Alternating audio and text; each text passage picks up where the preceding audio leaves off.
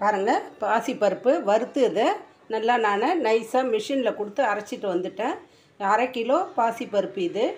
இது வந்து நல்லா வறுத்துட்டு ஆற வச்சு நல்லா நைஸாக அரைச்சின்னு வந்துட்டோம். நம்ம வீட்டில் கொஞ்சமாக செய்கிறதா இருந்தால் மிக்சியில் அரைக்கலாம்.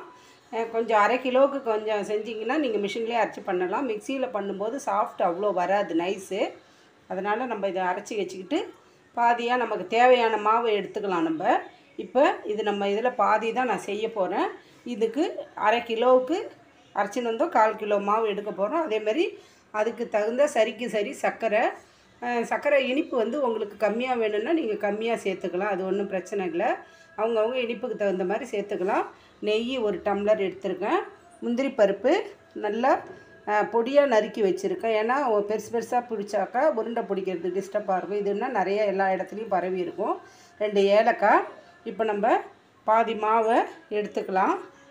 இந்த பாதி மாவுக்கு நம்ம ஒரு ஒன்றரை ஆழாக்கு சர்க்கரை சேர்த்துக்கலாம். இந்த ஒன்றரை ஆழாக்கை நான் பொடி பண்ணி எடுத்துகிட்டு வந்துடுறேன். ஒரு ஆழாக்கு போட்டிருக்கேன். இன்னொரு அரை ஆழாக்கு போடுறேன். இப்போ இதில் ரெண்டு ஏலக்காவையும் போட்டு இதை நை நைஸாக அரைச்சிட்டு வந்துடலாம். இப்போது இங்கே பாருங்கள் நான் ஒன்றரை ஆழாக்கு சர்க்கரையை நான் வந்து பவுட்ரு பண்ணின்னு வந்துட்டேன். இந்த மாவில் இப்போ சேர்த்துக்கலாம் நம்ம. நம்ம பச்சைப்பருப்பு மாவில் இப்போ நம்ம அரைச்ச சர்க்கரையை சேர்த்துக்கிறோம். இப்போ இதை ரெண்டையும் நல்லா கலந்து விட்டுக்கலாம் நம்ம.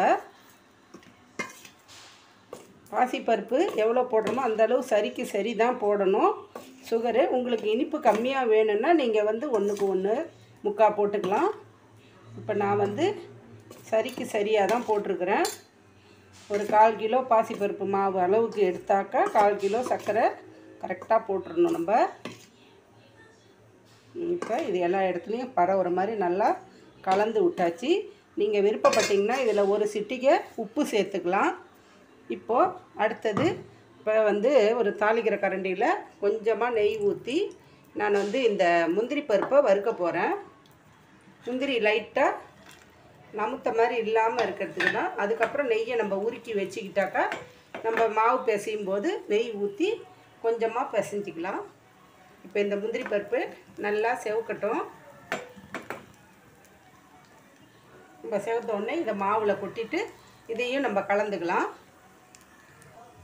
இப்போ அடுப்பை ஆஃப் பண்ணிவிட்டு இந்த முந்திரி பருப்பை நம்ம இந்த மாவில் சேர்த்துக்கலாம்.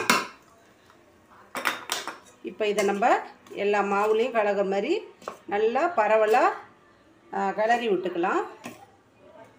இப்போவே வாசமாக இருக்குது பாசிப்பருப்பு சு சர்க்கரை பொடி ஏலக்காய் நெய் இதெல்லாம் சேர்ந்து ஜம்முன்னு கம்ம கம்மன்னு நல்ல வாசனையாக இருக்குது பாசிப்பருப்பு உருண்டை எல்லாம் தீபாவளிக்கு ஸ்பெஷல் தான் இது.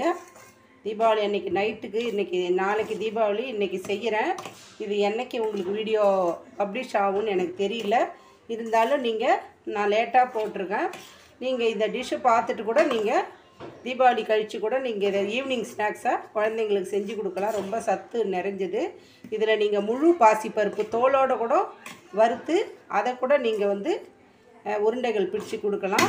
இப்போ இதில் கலந்து விட்டாச்சு. இப்போது எண்ணெய் நெய் காஞ்சிடுச்சு பாருங்கள் நெய் வந்து கொஞ்சம் கொஞ்சமாக ஊற்றி இதில் நம்ம பிசைஞ்சிக்க போகிறோம் உருண்டைகளாக பிடிச்சி ஒரு பிளேட்டில் வச்சுக்கலாம். எல்லாத்தையும் சேர்த்து நல்லா கலக்கி விட்டாச்சு மாவுலாம். இப்போ நம்ம எண்ணெய் காயுது பாருங்கள் இந்த எண்ணெய் சாரி நெய்யை வந்து கொஞ்சம் கொஞ்சமாக ஊற்றி நம்ம உருண்டைகளாக பிடிச்சிக்கலாம். கொஞ்சமாக நெய் ஊற்றிட்டு மீதியை நெய் வச்சுட்டு இப்போ இதில் வந்து நம்ம மாவை வந்து கலந்துட்டு கொஞ்சமாக ஏன்னா நெய் சூடாக இருக்கும். இப்போ இதை வந்து நம்ம இப்போ தேவையான உருண்டைகளாக பிடிக்கலாம். இப்படி நல்லா நெய் விட்டு கலந்து விட்டுட்டு நம்மளுக்கு எந்த சைஸ் வேணும் உருண்டை வேணுமோ அந்த சைஸுக்கு எடுத்து நல்லா அழுத்தி உருண்டைகளாக பிடிச்சிக்கலாம். நல்லா கைகளில் நல்லா கெட்டியமாக பிடிச்சி நல்லா ஒரு ப்ரெஸ் பண்ணிங்கன்னா உருண்டை இந்த ஷேப்புக்கு வந்துடும் ஏன்னா இது வந்து ரொம்ப சாஃப்டாக இருக்கும். இது வந்து தொட்டாலே பொல பொல பொலன்னு கொட்டிக்கும். அந்த அளவுக்கு உருண்டையாக சாஃப்டாக இருக்கும். அதனால் நெய் இல்லைன்னா பால் தெளித்து நீங்கள் உருண்டைகள் பிடிக்கலாம். இங்கே பாருங்கள் இந்த மாதிரி உருண்டை வந்து நல்லா பிடிச்சிக்கலாம். இதே மாதிரி இன்னொன்று பிடிச்சி காட்டுறேன். பாருங்கள் இப்போ ஒரு உருண்டைகள் பிடிச்சாச்சு. இப்போ இதில் மீதி இருக்கிற நெய்யை ஊற்றிக்கிறேன் எல்லா நெய்யையும் நம்ம மாவுக்கு சேர்த்துக்கலாம். ஆறிடுச்சு. இப்போ இதில் நம்ம மறுபடியும் உருண்டைகள் எல்லாத்துலேயும் கலந்துட்டு இப்போ உருண்டைகள் எல்லாமே உருண்டை இது மாதிரி உருண்டையாக பிடிச்சிக்கலாம் நம்ம. தேவையான ஷேப் எடுத்து நல்லா ஒரு அழுத்தம் கொடுத்திங்கன்னா இப்படி நல்லா அழகாக பிடிச்சிக்கும் இல்லைன்னா நீங்கள் பால் தெளித்து பிடிங்க உருண்டை. லைட்டாக பால் தெளித்து பிடிச்சிங்கன்னா ரொம்ப நாள் கெடாமல் இருக்காது. பால் வந்து தெளிச்சிங்கன்னா சீக்கிரமாக சரி பண்ணிடணும். இங்கே பாருங்கள் இதே மாதிரி எல்லா மாவையும் நான் உருண்டைகள் பிடிச்சிக்கிறேன்.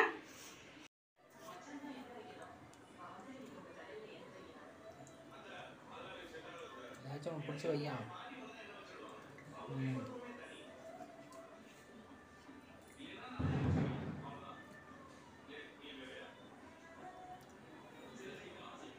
பாருங்கள் இப்போ நான் எல்லா உருண்டைகளும் பிடிச்சிட்டேன். பாசிப்பருப்பு உருண்டை நீங்கள் பால் தெளித்து கூட பிடிக்கலாம். இல்லை நெய்யே வேணும்னாலும் நெய்யும் தெளித்து பிடிச்சிக்கலாம். இந்த உருண்டை ரெசிபி உங்களுக்கு பிடிச்சிருந்துச்சுன்னா லைக் பண்ணுங்கள் ஷேர் பண்ணுங்கள் கதம்பம் டூ பாயிண்ட் ஓவர் சப்ஸ்கிரைப் பண்ணுங்கள் பக்கத்தில் இருக்க பெல் ஐக்கான் அழுத்துங்க. வாழ்க வளமுடன் நாளும் நலமுடன்.